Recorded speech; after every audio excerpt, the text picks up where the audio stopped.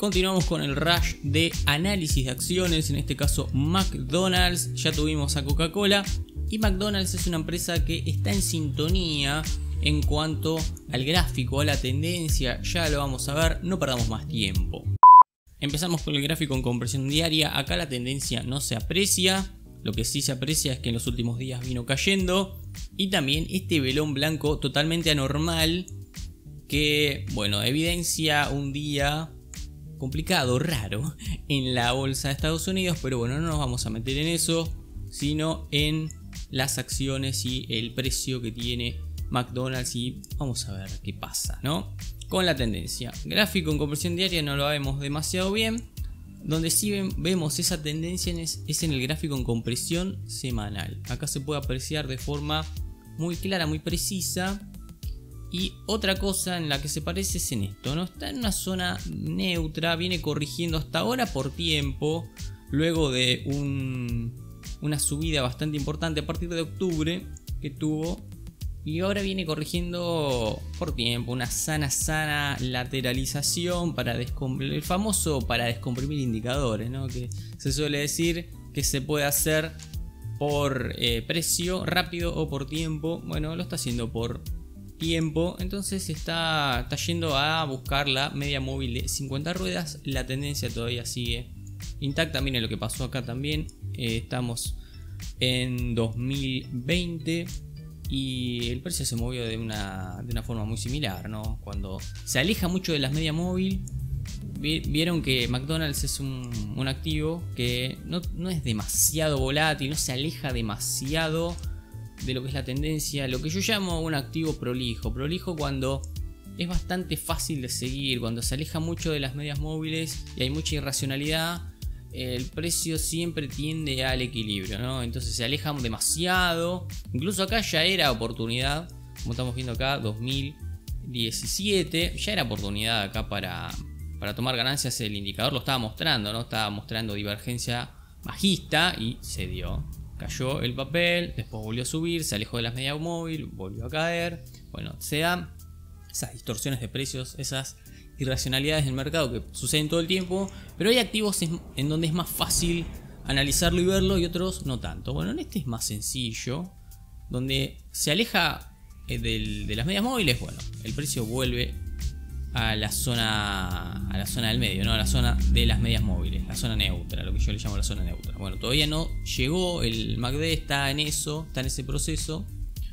Y el precio también está en ese proceso de aproximarse primero a la media móvil de 50 y después veremos si también lo hace con respecto a la de 100 o no, como sucedió acá en 2021, donde solamente tocó la de 50 y después retomó el camino alcista. La empresa que paga dividendos, al igual que Coca-Cola, eso también es importante aclararlo.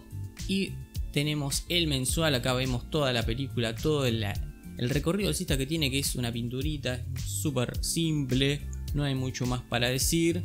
Lo que sí tenemos para decir es esto, ¿no? Eh, la, eh, la sobrecompra que tiene el MACD, pero acá es distinto que en Coca-Cola en cuanto a que el MACD también está en tendencia, es, raro, pero eh, sucede eso. El MACD está en tendencia al igual que el, activo, igual que las acciones, igual que el precio de McDonald's. Miren esto.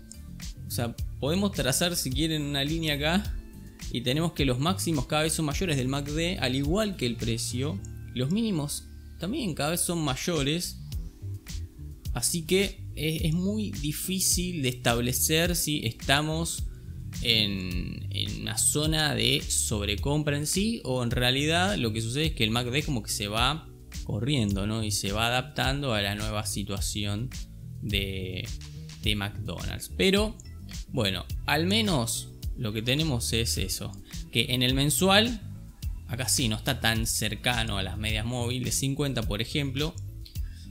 Y bueno, qué sé yo, yo diría eh, en este caso más tener, yo tendría mucha más cautela. Yo, inversor de McDonald's, tendría mucha cautela en este nivel. ¿Por qué? Porque dentro de todo en Coca-Cola teníamos una corrección que en el semanal había dado algún que otro indicio de, bueno, de última puede llegar a estar corrigiendo de forma lateral.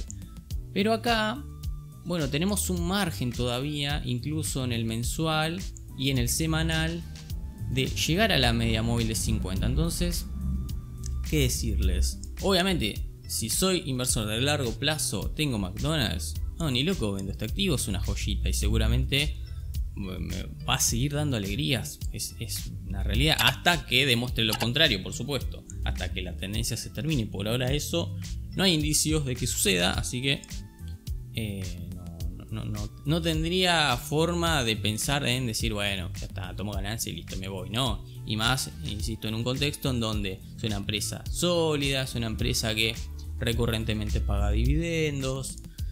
Eh, en esta situación donde puede darse un mercado inestable, bueno, eh, McDonald's claramente está demostrando que la tendencia no, le afecta. Entonces, bueno, no, si, si cae, no va a ser una de las que más caiga, seguramente. Así que por ese lado yo pensaría, bueno, estoy relativamente tranquilo. Ahora, si estoy afuera, no, no es un momento, yo no vería un momento como para entrar ahora. Esperaría un poquito, ver qué pasa y ver si se acomoda eh, la situación, ¿no? Esperaría a ver si empieza a lateralizar en esta zona.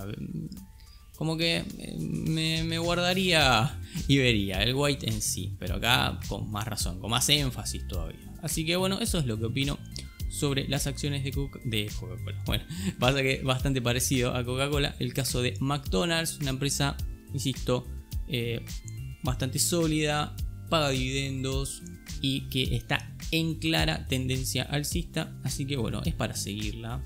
Los invito a ustedes que la sigan, que estén atentos por cualquier situación de oportunidad que se pueda dar.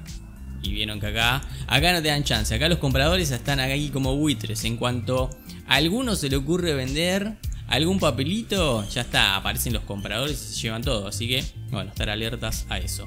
Bueno, genios, espero que les sirva, espero que lo tomen. Se agradece porque están del otro lado. Y bueno, nos vemos en el próximo video.